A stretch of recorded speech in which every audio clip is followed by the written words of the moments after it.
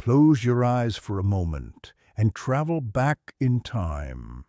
Not a hundred years, not a thousand, but millions of years ago, to a world that looked nothing like ours today.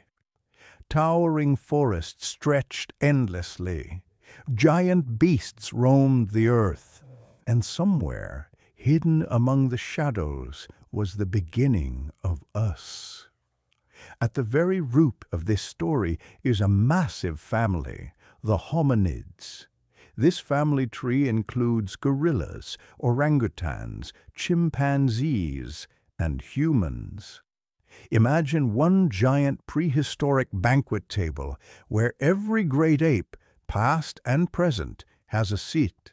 That's the scale of the hominid family. But not every seat was equal. Around six to seven million years ago, a single branch broke away. This branch didn't just live in the trees, it began to walk upright.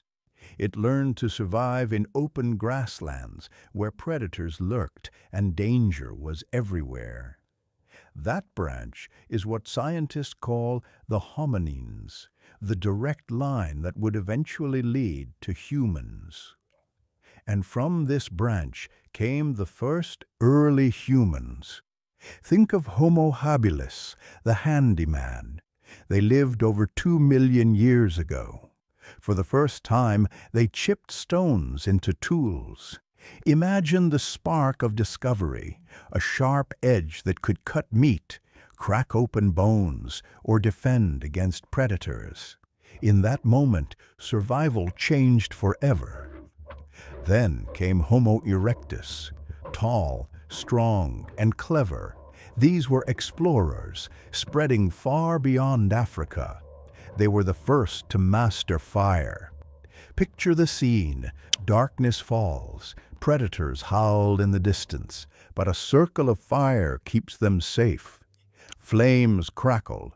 Food cooks.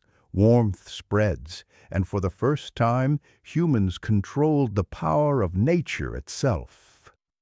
As time passed, more human-like species appeared. Some, like the Neanderthals, were powerful hunters who survived brutal Ice Age winters. Others, like the mysterious Denisovans, left only fragments of bones, yet traces of their DNA still live inside us today. It was a world of survival, competition and adaptation. Dozens of human cousins once walked this earth, and yet one species rose above all the rest. Around 300,000 years ago, in Africa, Homo sapiens, modern humans, emerged. That's us. Think about that for a moment. We were never alone. For most of history, the Earth was shared by multiple human species. But over time, one by one, our cousins vanished, leaving us as the only survivors of this vast and ancient family tree. So here's the truth. All early humans were hominids, but not all hominids were early humans. We are one lucky branch, one fragile thread that made it through millions of years of evolution.